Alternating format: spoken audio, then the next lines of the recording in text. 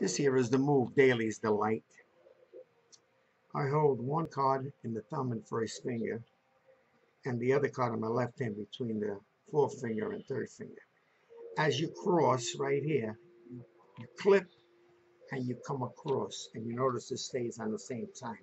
So it's kind of a and a, a little time delay as I push. So at, at speed, you know, not at speed, but at coming across here. There it is. That's move. One more time. Here, here, here, cross. Daley's